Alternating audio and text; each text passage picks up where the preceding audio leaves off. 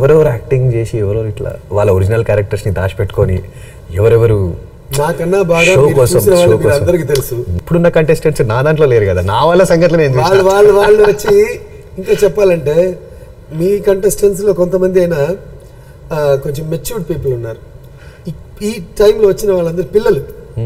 వాళ్ళకి ఇది ఒక ప్లాట్ఫామ్ ఓకే బిగ్ బాస్ అంటే వాళ్ళ హీరోలు ఫస్ట్ ఏం చేసి శివ బాలాజీ మన కౌశల్ రాహుల్ వాళ్ళ మైండ్ సెట్ అదే సో ఏంటంటే ప్రతి సీన్కి ఒక డైలాగ్ అని ఫిక్స్ అయ్యారు. Okay okay. ఇప్పుడు ఏంటంటే వర్షం వస్తుంది. అంటే ఒక బిర్యానీ వచ్చిందంటే బిర్యానీ అని చెప్పడం కావాలి. ఐస్ క్రీమ్ ఐస్ క్రీమ్ అనేది కావాలి. నార్మల్లీ ఐస్ క్రీమ్ వచ్చింది అందరు రండి తినొచ్చు ఐస్ క్రీమ్ అనేసరికి మీకు ఇట్లా నాకు నవ్వు వస్తుంది.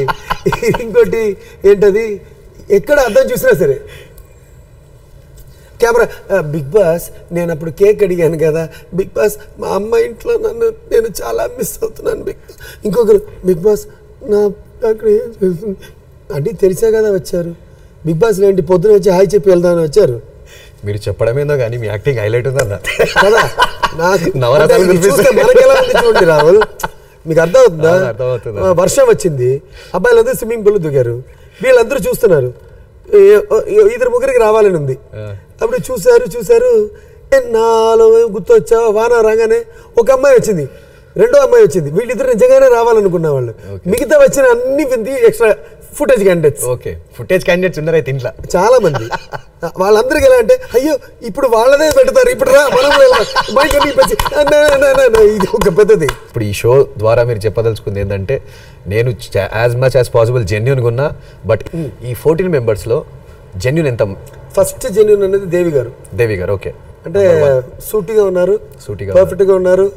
కెమెరా గురించి పట్టించుకోవట్లేదు. ఓకే. ఆమెకి నా డాన్స్ చేయాలంటే డాన్స్ చేస్తుంది. కూర్చోవాలనిపిస్తే కూర్చుంటుంది. కూర్చోతుంది నిద్రపోవాలంటే నవ్వుతూ అలాగే పడిపోద్ది. ఇది నవ్వుతున్నారు మనం అనుకుంటాం చూస్తే నిద్రపోతుంది. ఇలాంటిది చాలా విషయాలు. ఆ ఎదుట వ్యక్తికి ఏం కావాలనేది తెలిసి మరి. ఇంకోటి గ్యాంగ్ లేదు ఆమెకి. నెక్స్ట్ దివి. దివి. అమ్మాయి కొంచెం కన్ఫ్యూషన్ కానీ అమ్మాయి దగ్గర ఒక ఎంతమంది ఇన్ఫ్లుయెన్స్ చేసినా ఒకటి ఇది కాదు కదా అది కదా అని clarity. రిక్వెస్ట్ చేసైనా తన డిసిషన్కి వెళ్ళిపోతుంది. తర్వాత రాజశేఖర్ మాస్టర్ ప్రాబ్లం ఏంటంటే అమాయకుడు.